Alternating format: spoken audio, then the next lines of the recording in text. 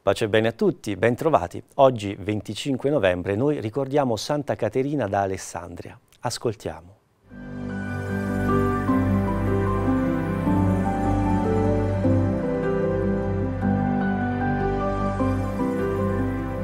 All'origine del culto di questa santa del IV secolo si pone una leggenda.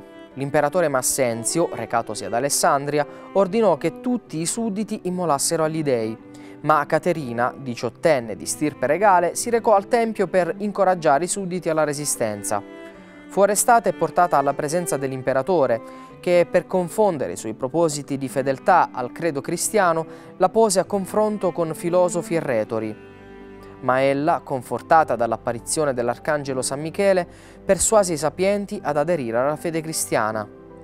Allo stesso modo respinse i propositi dell'imperatore, attirato dalla sua bellezza, e convertì alla fede i soldati mandati a sorvegliarla in prigione. Venne martirizzata, dopo alcune vicende straordinarie, il 25 novembre del 305. Il culto di questa santa divenne molto popolare nel Medioevo. Chiese e altari vennero dedicate in suo nome e fu anche scelta come patrona delle scuole filosofiche.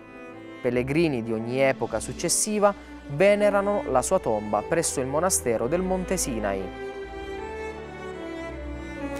Santa Caterina da Alessandria è stata una donna eccezionale che ha saputo veramente reggere delle situazioni di grande, grandissima tensione.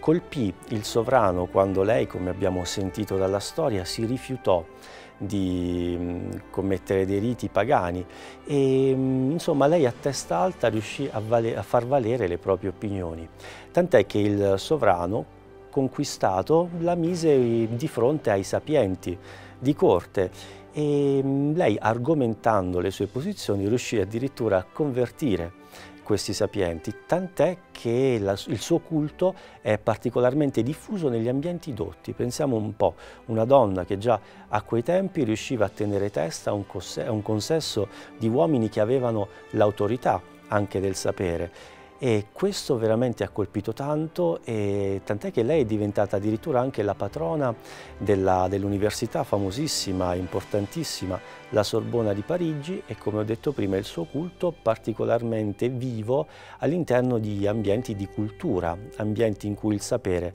aveva il suo peso. Quindi oggi vogliamo fare la nostra preghiera proprio per questi ambienti, gli ambienti del sapere, che non solo hanno il compito, come dire, di erudirsi, ma hanno una funzione molto importante, quella di diffondere il sapere, di far sì che non sia solo un qualcosa per pochi, ma che sia un qualcosa per tutti.